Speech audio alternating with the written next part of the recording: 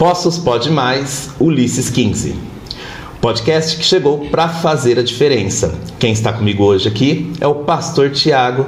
Tiago, se apresente para gente. Alex, eu sou o pastor Tiago Garcia, sou ali da região da zona sul da nossa cidade, resido ali no Jardim São Sebastião 2, né? Sou pai de família, tenho seis filhos, sou um pastor voluntário ali na igreja do Jardim Aeroporto, Assembleia de Deus, e sou formado em eletrotécnica, né? Sou natural aqui da nossa linda cidade de Poços de Caldas. Uhum. Estamos aqui nos colocando à disposição de todos os poços caldenses para assim exercer juntamente com o povo um trabalho de excelência.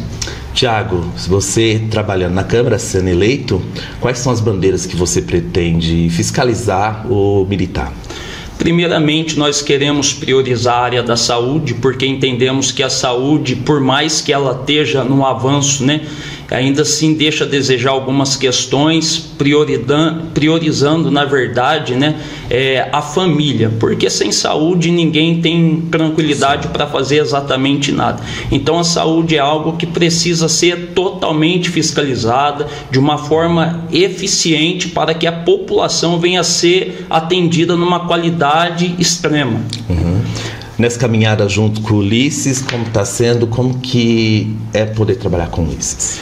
Ulisses ele tem sido um diferencial para a nossa cidade, né? Apenas quatro meses lá na Câmara dos Deputados em Brasília, ele já trouxe muito recurso para Poços. Então, em quatro meses já deu para perceber que ele vai fazer um grande trabalho para a nossa cidade, para o nosso povo, uhum. porque o Ulisses é uma pessoa que ele tem postura, tem índole, né? Tem um caráter inabalável e a gente sente segurança em andar ao lado de uma pessoa idônea como Ulisses.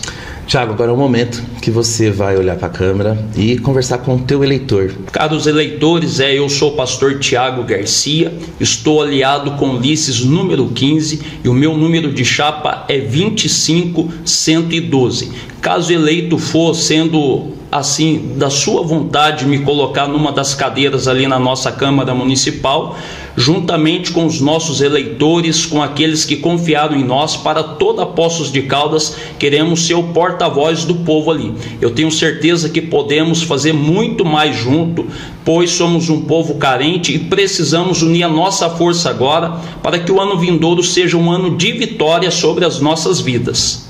Estou juntamente com Ulisses número 15